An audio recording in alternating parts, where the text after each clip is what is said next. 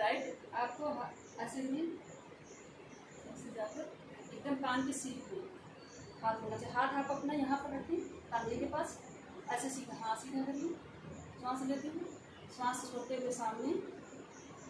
उसके बाद ब्रेक श्वास लेते हुए। एकदम सीधा होना चाहिए। हाँ। हाथ सीधा करिए। और सीधा हाथ सीधा करिए। मतलब ऐसे है ना आपका? उसको सीधा करिए। हाँ सीधा करिए। तनाव दें हाथ को। हाँ। उसके बाद हाँ उसके बाद ठीक सामने। ओके एक बार और इसको देखिए। यहाँ यहाँ यहाँ देखिए सांस में सांस छोड़ते हुए ठीक सामने। फिर सांस लेते हुए।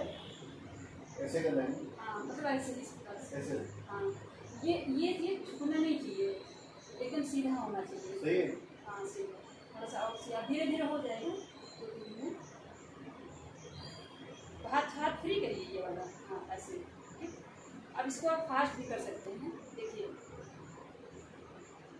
ऐसे।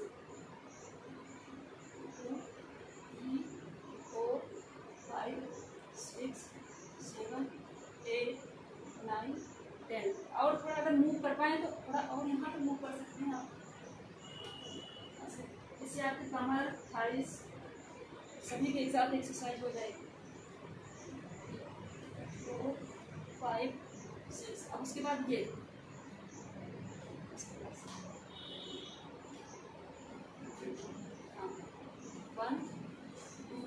Three four five six seven eight nine ten